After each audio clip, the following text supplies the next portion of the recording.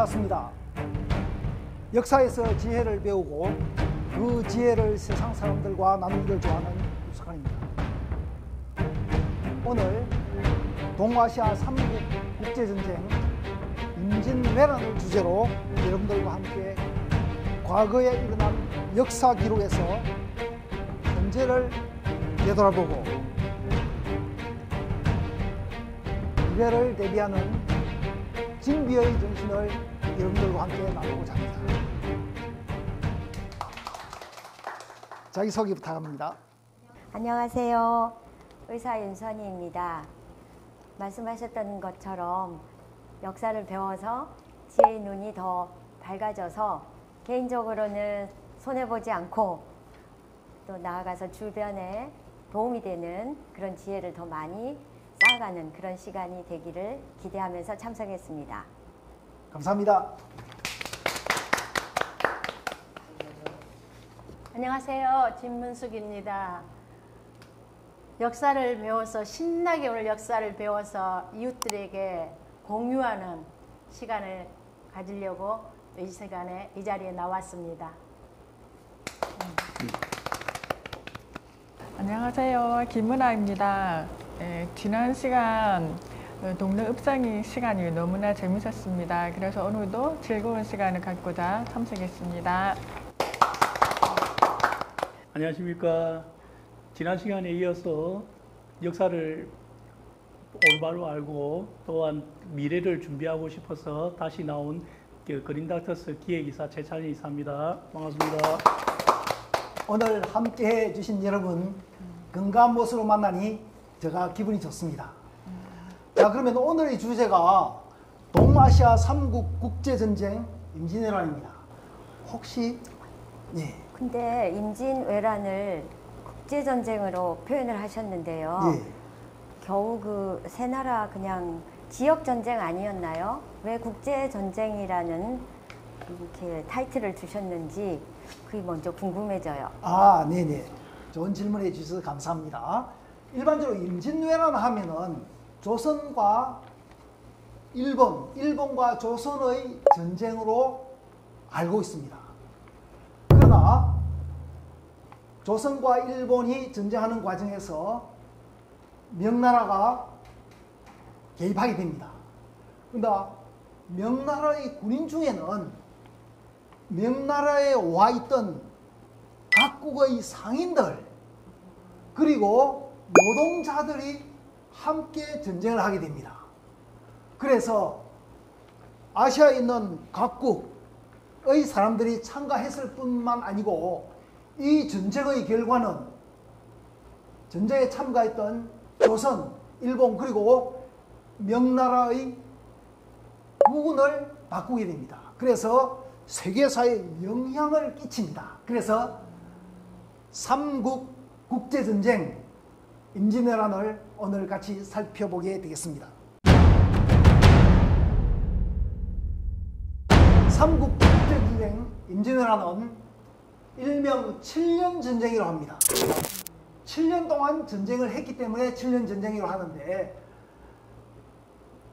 1단계, 2단계, 3단계로 나온다면 초기 1단계는 약 1년여간 조선과 일본이 참혹한 전투를 하게 됩니다. 그런데 명나라가 조선을 도우러 개입함으로써 이제 전쟁이 새로운 양상으로 바뀌게 됩니다. 그런데 일본은 명나라의 강력한 군사 개입 앞에 주춤하게 됩니다. 뿐만 아니고 명나라는 싸우다 보니까 자국 군인들이 죽다 보니까 이게 싸워서 이기는 것보다 외교로서 즉 강화 교섭을 통해서 문제를 해결하고 해결하려고 합니다. 그 강화 교섭 기간이 4년이나 걸립니다. 그런데 외교 전쟁이란 이렇게 쉽게 끝나지 않습니다. 그래서 강화 교섭이 결렬됨으로써 다시 한번 전쟁을 일으키게 됩니다. 일본이. 그것을 우리가 정유재단이라고 합니다.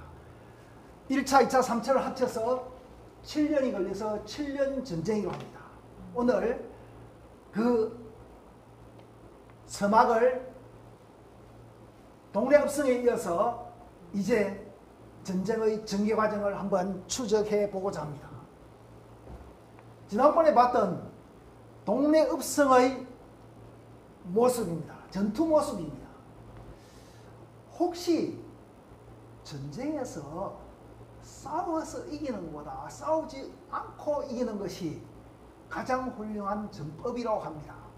그런데 혹시 전법에서 또 다른 전법이 생각나는 게 있나요? 지피 지피지기며 백성벽지라고 알고 있는데 이걸 잘못 알고 있나요? 아, 우리 일반적으로 지피지기면 백전백승이라고 하는데 지피지기면 백전백승은 무슨 뜻인가요, 김문 학생? 상대를 알고 나를 알면 무조건 이긴다? 100번 싸웠을 때 100번 다 이긴다? 예, 지피지기. 즉, 상대방을 알고 나를 알면은 100번 싸움에 100번 이긴다는 뜻입니다. 현실적으로 가능할까요? 가능하지 않을 것 수도 같아요. 있지만 불가능이 훨씬 많을 듯. 아, 지피지기 하면은 네. 되지 않을까 싶긴 예. 한데. 실제로 알아도- 지피지기면 백전 백승이라는 말은 우리나라 사람이 말입니다. 어 그래요? 예. 손자 맹법에는 지피지기면 백전 백승이라는 말이 없습니다. 아 진짜요? 어. 예. 없습니까? 예.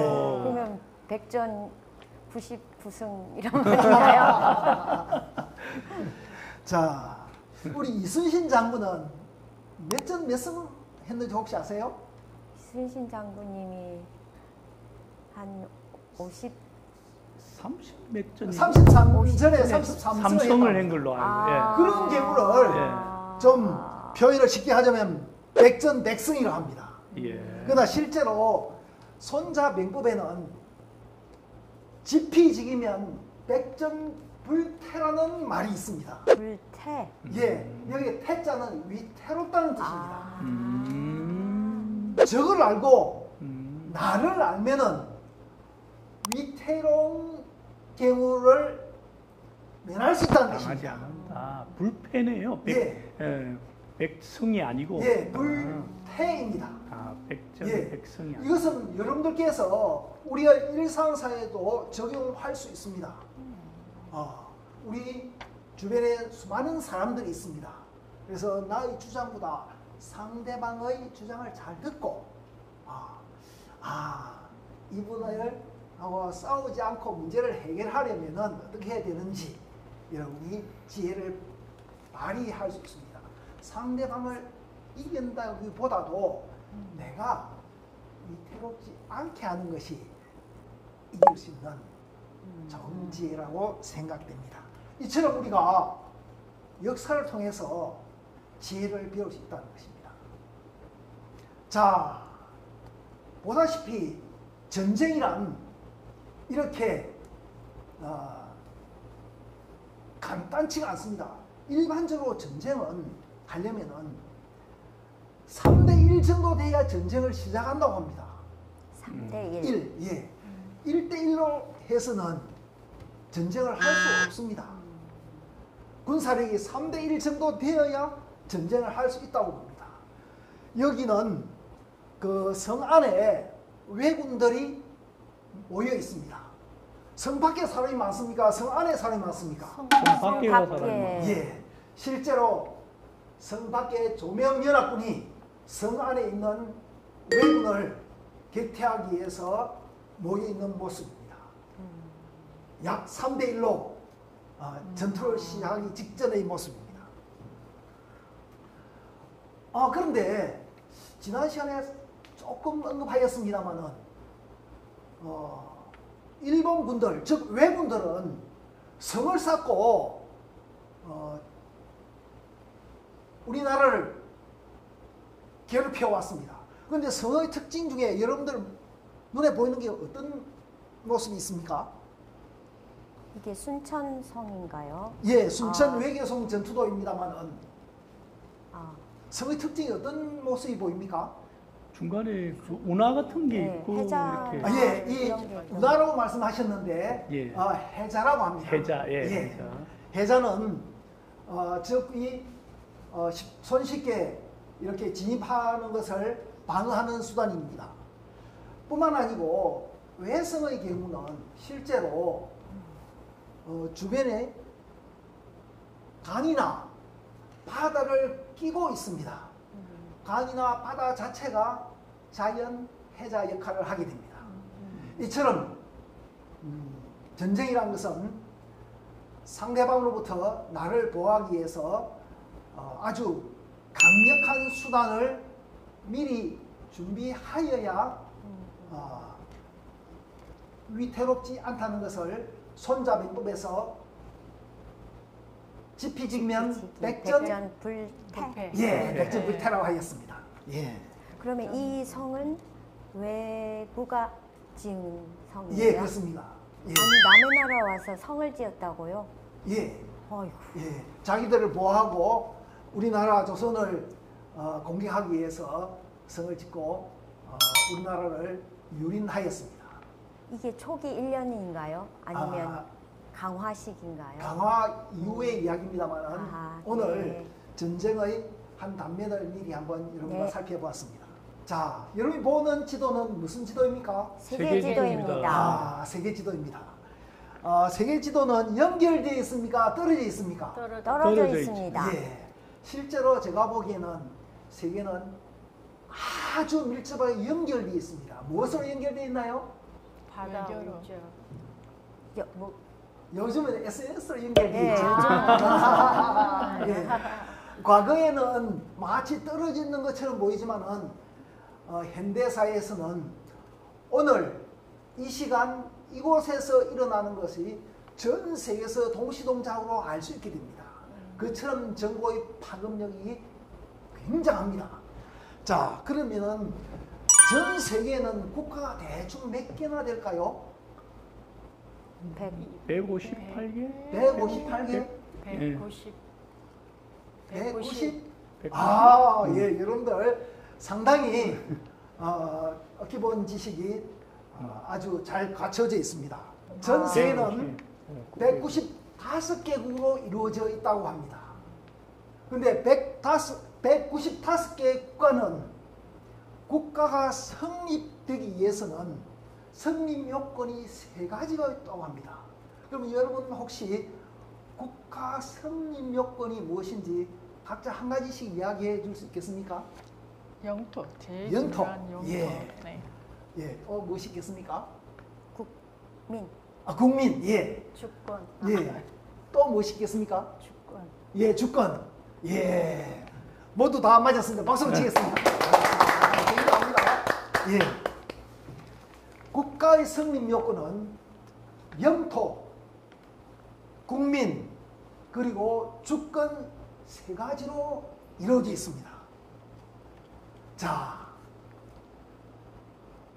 과거 역사를 보면은 영토를 잃고 유랑 생활을 한 민족이 있습니다. 어느 나라 민족인가요? 유태인. 유태인. 그- 그것을 뭐라고 부릅니까? 그, 어. 그 디아스포라라고 부르죠. 네. 예. 야, 뿔뿔이 흩어져서 전 세계에 흩어져 살다가 아, 영토는 잃었지만은 국민들이 주권을 지키기 위해서 단합해서 결국은 현재 아, 이스라엘. 이스라엘 을 이루고 있습니다만은 안타깝게도 지금 전쟁 중에 있습니다. 예. 그래서 전쟁이라는 것은 이처럼 국가의 성립 요건 세 가지와 밀접한 관계가 있기 때문에 여러분과 한번 살펴봤습니다. 그러면 우리나라의 국가 성립 세 가지 요건은 어떤 표현으로 우리에게 다가오는지 살펴보겠습니다. 각 나라에서는 이 국가 성립의 요건 세 가지는 너무 중요하기 때문에 각 나라에서 헌법으로 규정을 하고 있습니다. 우리나라 헌법 한번 살펴볼까요? 네. 예, 한번 살펴보겠습니다. 자, 대한민국 헌법 제1조에는 국가 요건 중에서 무엇을 이야기하고 있습니까? 주권. 주권. 주권. 두 번째는 뭡니까? 국민. 세 번째는 영토. 영토. 아, 각 나라마다 이 순서가 같을까요? 다를까요? 다를 수도 있어요. 아, 같을 것 같았는데 다른가 봐요. 예. 맞아요. 다를 수도 있겠죠, 그죠? 예, 당연히 다릅니다. 그런데 우리나라는 왜 주권을 대한민국 헌법 제1조에 포함시켰을까요? 제일 중요하기 때문에 동, 안, 보는 음, 음, 뭐죠? 이거 독재자한테 그그한 왕이나 이런 거에서 예. 뺏겼던 적이 너무 예. 많아서 아마 아, 예. 반대로 국내 알- 아니로 주변 국가들에게 우리나라 주권을 빼앗긴 적이 있죠. 그- 네, 예. 맞아요. 네. 아, 명- 우리가 지금 명나라. 오늘 네, 명나라. 함께 공부하고 있는 임진왜란 때도 우리나라가 네. 주권을 빼앗겼습니다. 음. 그래서 우리나라 역사적으로 우리나라 국민에게는 무엇보다도 주권이 가장 중요하다고 생각해서 제1조에 포함시켰습니다. 그러면 다른 나라 어떤지 유럽을 한번 가볼까요? 네. 프랑스는 영토를 가장 중시합니다. 어, 왜냐하면 프랑스는 주변 국가들하고 너무 오랫동안 전쟁. 전쟁을 하다 보니까 영토가 많이 유린되었습니다. 그래서 프랑스는 영토를 가장 중시하고 있습니다. 그러면 독일은 뭘까? 독일은 국민의 즉 인간의 존엄성을 가장 중시하고 있습니다. 독일에서 왜 인간의 존엄성을 중시하는지는 여러분들 세계 제1차 세계대전, 세계 제2차 세계대전을 통해서 나치 때문에. 예, 역지사지로 아마 역사를 통해서 어, 지혜를 배워서 인간의 존엄성을 최고 가치로 두고 있습니다. 자, 앞에서 지도를 봤습니다만은 우리가 그냥 보기에는 지도가 단순한 지도이지만은 지도는 상호간에 아주 밀접한 역학 관계가 있습니다. 지난 시간에 잠시 언급했습니다. 대륙 세력과 해양 세력은 곳곳에서 사이좋게 지내기도 하지만 충돌을 하기도 합니다. 대륙 세력인 중국과 러시아를 북서쪽 그리고 북쪽에 두고 남쪽으로는 일본, 미국, 태평양 세력을 우리가 두고 있습니다. 자, 우리나라의 지정학적 위치 등을 지리의 힘을 통해서 한번 살펴보겠습니다. 우리는 지리 하면은 학교에서 지리 배웠습니까? 네. 네. 네. 지리 배웠는데 우리 최찬일 학생 기억나는 예. 게 있습니까? 어 지리 뭐 이렇게 그냥 지리 시간에 예. 선생님께서 이야기한 것을 배우기에 바빴죠. 예예 네. 그렇습니다. 그런데 실제로 우리가 배운다는 것은 지식을 배워서 지혜화해서 우리 일상사에 적용하는 것이 더 중요합니다. 자, 그렇다면은 학교에서 배웠던 지리가 실제로 어떻게 작동하는지 한번 보겠습니다. 지리는 개인의 운명을 그리고 국가의 운명을 세계사를 그리고 세계 경제를 실제로 좌우합니다. 실제로 한번 보겠습니다. 자, 이처럼 우리나라를 중심적으로 대륙 세력과 태평양을 같이 한번 보게 됩니다. 현재 여러분 보기에 동아시아입니다. 우리나라는 동아시아의 북, 동서남북 어디쯤 있습니까? 중간. 가운데 있죠. 가운데. 네. 예. 예. 가운데 있는데 가운데 있다는 것은 좋은 점만 있습니까? 나쁜 점도 있습니까? 나쁜 점도 있겠죠. 좋은 점은 어떤 게 있을까요? 문화 교류, 문화를 많이 받아들일 수 있다. 해양 예. 문화와 대륙. 문화를 받아들일 수 있고 전달할 수 있겠죠. 예. 혹시 점은 무엇이 있을까요? 탐지는 어떤- 나라들이 너무 많을 것 같아요. 아, 예, 영토를 이렇게 넘보는 나라들이 많겠죠. 어, 그래서 북쪽에서는 중국과 러시아가, 남쪽에서는 일본이 우리나라를 실제로 아, 침략하거나 침략했죠. 전쟁을 한 적이 있습니다. 지금 우리가 배우고 있는 임진왜란 경우에 따라서는 청일전쟁, 를 전쟁 등이 실제로 우리나라에서 일어나게 됩니다. 자 보다시피 이제 조선 시대 임진왜란 시대로 가겠습니다. 북서쪽에는 명나라가 있습니다. 남동쪽에는 일본이 있습니다. 임진왜란은 어느 나라가 쳐들어왔습니까? 일본, 일본 이 일본이 어느 나라를 쳐들어왔습니까? 조선, 조선을 조선으로. 명나라 가기 위해서 명나라를 그냥 가기 했습니까? 명나라를 친- 예, 전쟁을 치러 가려고 예. 일본이 명나라를 침략하려고 합니까? 어느 나라를 조선을 거쳐 지나가야 합니까? 조선을 조선. 아, 조선을 지나가야 되죠. 그래서 길을 비켜라 하니까 내가 길을 비킬 수 없다. 예. 음. 혹시 기억나십니까? 네. 네. 예. 송상현 부사가 네. 어, 마지막으로 큰 소리를 외치면서 왜군과 저항했던 문구가 기억납니까? 예. 다 같이 해볼까요? 전사이, 전사. 다 같이 전사이, 전사이 전사이 가도남, 가도난. 예. 싸워서 죽을 수는 있으나 길은 길을 항복하고 길을 비켜줄 수 없다 했습니다. 자 그러면은 반대로 중국이나 러시아가 혹시 대한민국을 침략한 적도 있나요?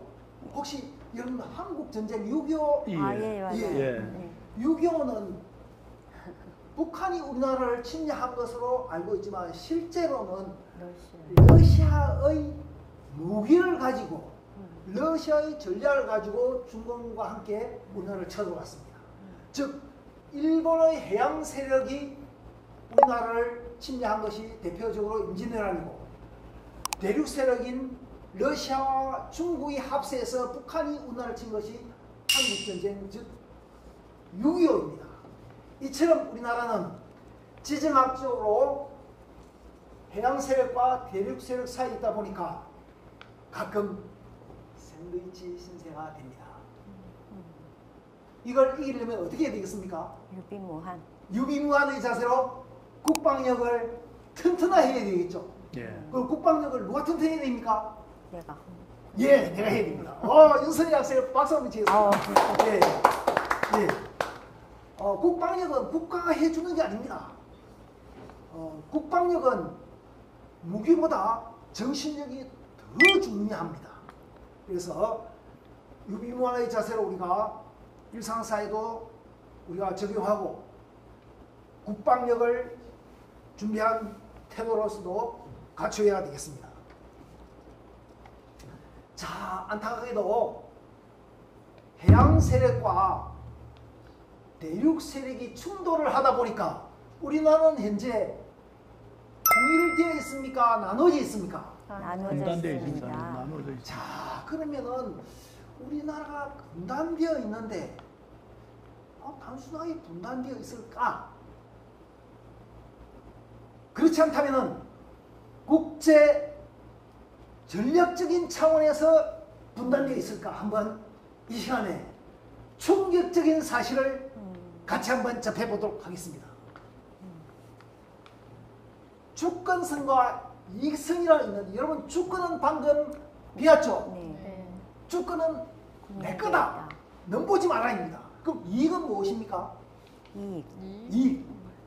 이익 나의 내가 얻을 수 있는 어, 가치 내가 가지고 있지 않은 다른 것을 내가 아. 가지려 하는 게 이익입니다. 맞습니까? 네. 예.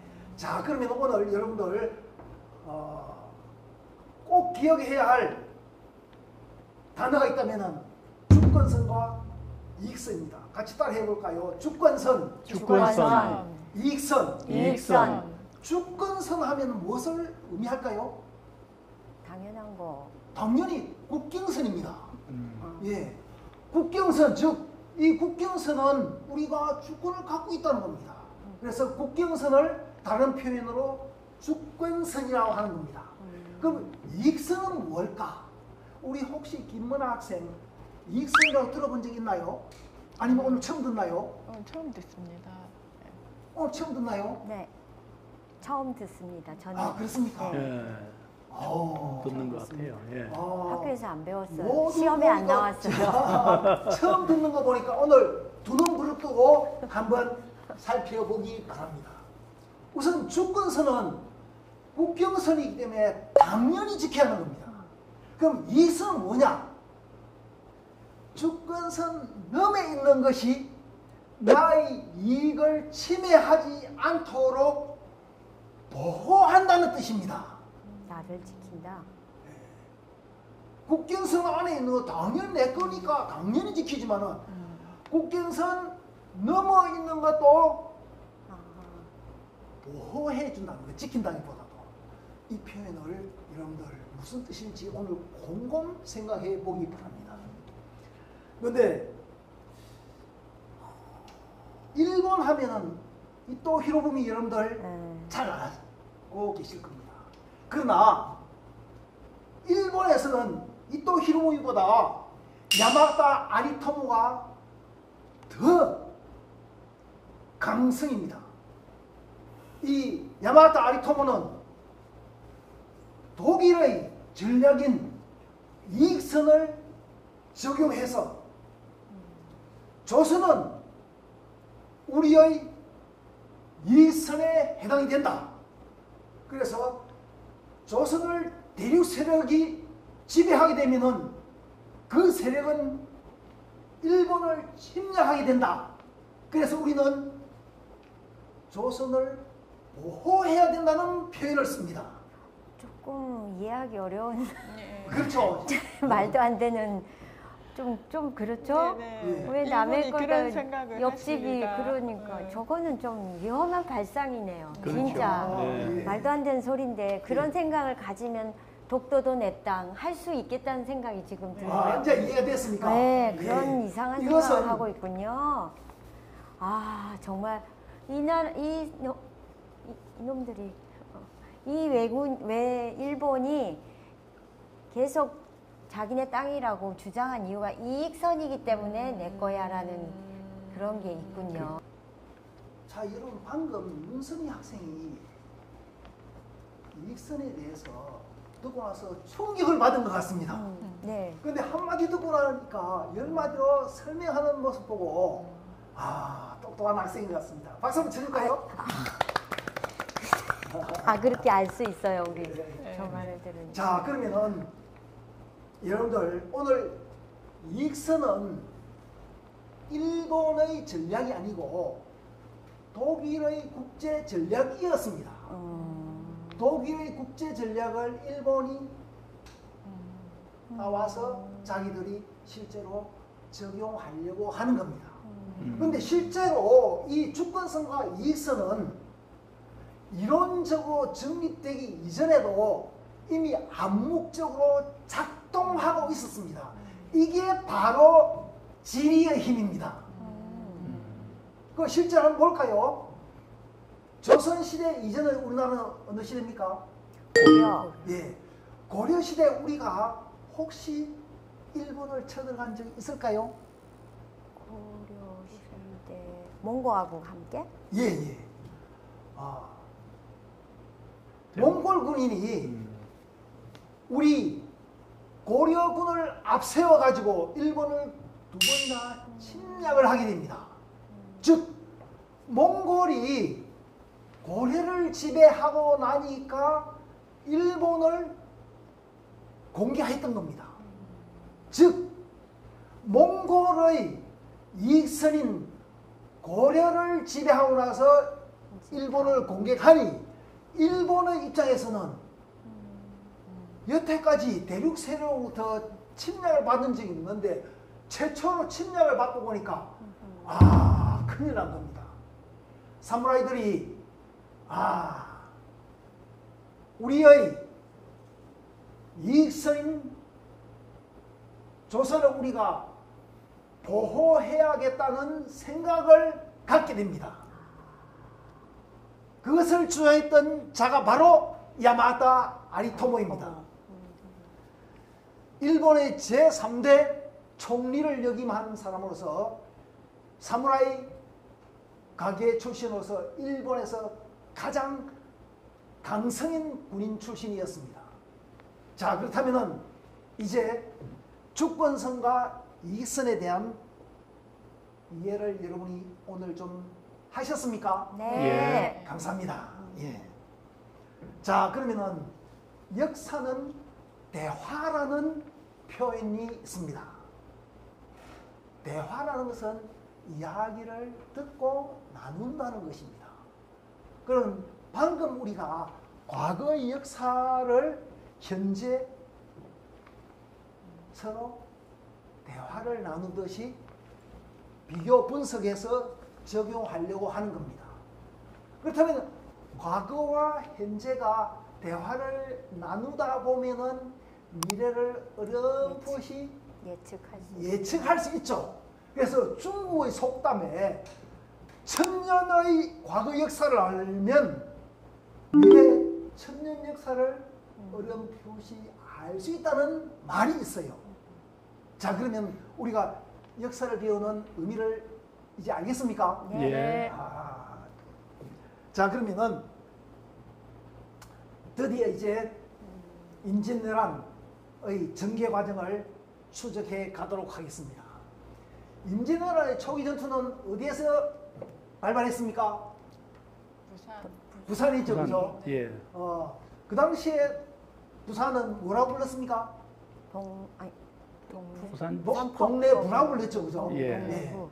따라 해 봅시다. 동네부, 동네 부 부산 진, 부산 진 예.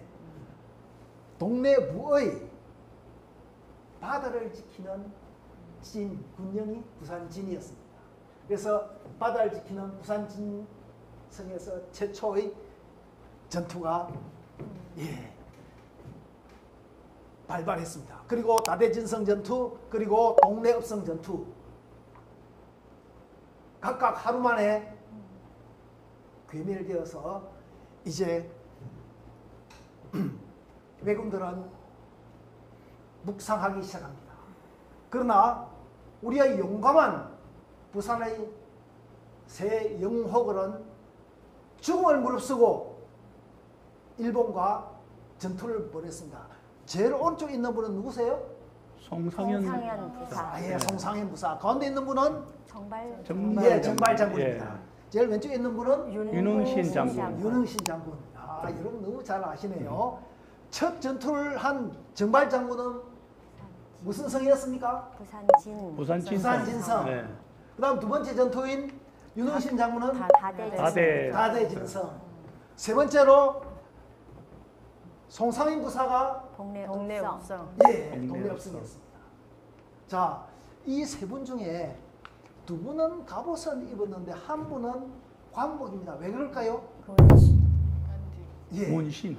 예, 송상인 부사는 지금으로 얘기하면 부산광역시장이기 때문에 문신이었고 부산 진성과 다대 진성을 지키던 군인들은 무신이었기 때문에 갑옷을 입고 지금도 살아서 우리 나라 앞바다를 두 눈 부릅 뜨고 지켜보고 있다는 것을 여러분이 확인할 수 있습니다. 자, 일본의 침략 경로를 한번 보겠습니다. 첫 번째 전투 부산하고 나서 이제 제일 처음에 부산에 발을 디딘 왜군은 제1군이었습니다. 1군의 장수는 고니시 유키나가였습니다. 제2군은 가토 기요마사, 3군은 고다 나가마사인데 왜 한가 나눠서 갈까요? 토요토미 히데요시는 각 장수들에게 경쟁을 하기 위해서 이렇게 1군, 2군, 3군 나눠서 상호 경쟁을 시킵니다. 그리고 경쟁을 시킬 뿐더러 오기 전에 너희들이 이곳을 지배하면은 이것은 너의 영지가 된다. 저기를 지배하면 너에게 주겠다. 이렇게 했어요. 그러니까 경쟁적으로 전투를 벌이게 됩니다. 자, 그러면은 조선을 침략하고 지배하고 나서 어떻게 통치할 것인지 미리 계획을 세워왔다는 겁니다. 자, 그러면은 어, 그 중에서 네 군데만 한번 살펴보겠습니다. 오키다 히데이에는 한성을 비롯한 경기도 요지입니다.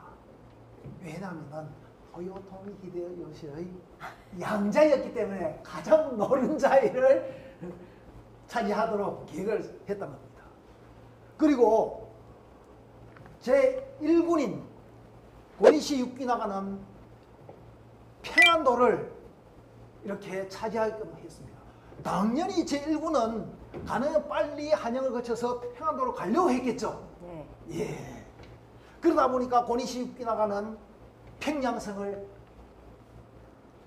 공격해서 평양성을 차지하게 됩니다. 다음 가토 기요마사는 함경도를 자기에게 주겠다 하니까 뒤돌아보지 않고 함경도까지 올라갔습니다. 근데 함경도에 가니까 위에서 여진족이 내려오는 겁니다. 그래서 가토 기요마사는 실제로 여진족하고도 전투를 하게 됩니다. 그런데 겨울이 되니까. 너무 추워서 애를 먹었습니다. 자, 오바야카와 다카카게는 전라도 곡창지대를 이렇게 할당했습니다. 여기에 참전했던 장수 중에서 고바야카와는 가장 나이 많고 오랫동안 전투를 한 경력이 있었기 때문에 이 보급의 가장 중요한 식량을 곡창지대인 전라도를 할당하였던 것입니다. 이처럼 임진왜란은 아주 철저한 계획하에 이 조선을 침략하였습니다. 그러나 우리 조선은 과연 어떠한 국방력을 가졌는지 지금부터 추적해 가겠습니다. 자, 경로를 보면은 동래읍성 큰 전투를 보면은 상주 전투, 당금대 전투, 한양 함락, 개성 함락, 평양성 전투까지 올라갑니다. 평양성 전투에서는 이제 명나라가 참전합니다. 그때부터 왜군은 기가 죽어서 더 이상 북진을 하지 못하고 결국은 퇴각을 하게 됩니다. 그런 과정을 오늘 자세히 살펴보겠습니다. 자, 한성, 즉 한양의 운명은 우리나라의 운명과 관련이 있습니다. 한성은 1992년 6월 11일 함락하고 1년 만에 탈환을 하게 됩니다. 1년 동안 우리나라의 수도는 왜군의 발자국 아래에 있었습니다. 그때 왕은 누구였습니까? 선조에서 광해군이 살짝 가, 갔었나요? 아, 예. 어떻게 됐죠? 선조가 도망가가지고. 이 한양을 버리고 몽진을 하면서 자기 둘째 아들 광해군에게 어, 임시로 임시로. 위험할 것. 네가 맡아라 하고 어, 분족 즉 나누어서 어, 나를 임시로 다스리도록 하였습니다. 자 그러면은 조금 더 나아가도록 하겠습니다. 자 그렇다면은 한양이 함락되기 전에 6월 12일 날 함락되는데 그 이틀 전에 선조는 야밤에 백성들 몰래 이렇게 한양을 탈출해서 개성을 거쳐서 평양을 거쳐서 의주까지 도망을 갑니다. 의주까지 도망가서 명나라에게 이야기합니다. 내가 압록강을 넘어도 되겠느냐? 안 그러면 너희들 와서 도와주겠느냐 하니까 압록강을 넘으면 안 된다. 우리가 너희들을 지원할 테니 기다리라 합니다. 왜 그런 것 선조가 압록강을 넘으면 안 된다고 했을까요? 최찬일 학생? 음, 전쟁이 아, 예, 김문 학생이 대답하려고 합니다. 예, 그 명나라 그때 당시 명나라 입장에서는 예, 조선의 진짜 의도를 아직 정확하게 모를 수도 있겠다. 아, 그러니까 오는 이유가 예. 진짜 도와달라고 오는 건지 예, 아니면은 스파이식으로 온 건지 예. 그럴 것 같아요. 예. 김은하 학생은 그몇 단계 더 내려오고 전략 그 전략 전술이 상당히 뛰어나네요. 실제로 선조가 압록강을 건너서 맥나루로 간다면 일본군이 선조 잡으러 맥나루를 침략하겠죠. 그렇죠. 예. 그러니까 어, 너, 넘어오지 마라. 음. 우리가 갈게. 어, 갈게. 그래서 평양성에 이제 서 일본과 격전을 하게 됩니다. 더 자세히 넘어가겠습니다. 자 그러면은 자 상주 전투 부산에서 큰 전투를 하고 나서 상주까지 가게 됩니다. 그럼 상주에서 어, 전투를 하기 전에 이미 전령이 선조에게 보고를 합니다. 왜군이 침략해서 한양을 향해서 진군하고 있다 하니까 선조가 장군들 중에서 좀 용맹한 장수를 한 명 차출을 합니다. 차출해서 너가 가서 상주에 가서 전투를 해서 격퇴해야 합니다. 어떤 행사가 일어난지 같이 한번 볼까요? 자, 상주 전투를 위해서 조선군에서 이 일이 사출이 됩니다. 이 일이 차출이 되어서 상주를 향해서 오는데 군인을 서- 한양에서 모집을 하는데 군이 모집이 잘 안 돼요. 도망가야지. 그런데 이제 각 고을에다가 미리 연락을 합니다. 연락해서 내가 내일 갈 테니 군사를 모아놔라 합니다. 모아놔라 하는데 각 고을에서 이제 상조 오기 전에 각 고을에서 군사들이 모여서 격퇴하려고 모였어요. 모여서 강가에 진을 치고 있는데 밤에 비가 오고 바닥이 질퍽질퍽하니까 왜군은 안 오지요. 위에서는 장수도 안 내려오죠. 곰이 가득 찼습니다. 그런데 위에서 한양에서 장수는 안 오는데 왜군이 온다는 소식을 듣고 뿔뿔이 흩어져 버립니다. 왜냐면 장수가 안 오니까. 그런데 이 일이 상주에 도착하고 보니까 군인들이 없는 거예요. 군인 다 어디 갔노 하니까 장수께서 늦게 와서 다 흩어지고 없습니다. 그래서 한양에서 데려온 소규모의 전투병하고 남아있던 잔여병하고 실제로 격전을 하였지만은 이길 수가 없었습니다. 그래서 하는 수 없이 아, 상주 전투는 제대로 싸워보지도 못하고 이제 이런 충주로 퇴강을 합니다. 자, 그런데 이제 더 큰 일이 났습니다. 이 우리가 조선 시대는 지금 생각해 보면은 의한이 분봉한 방어 전략을 갖고 있었어요. 우리 최찬일 학생 혹시 축구 좋아합니까? 예, 좋아합니다. 아, 예. 예, 축구에는 두 가지 전략이 있습니다. 크게 보면은 예. 예. 어떤 전략이 있습니까? 어,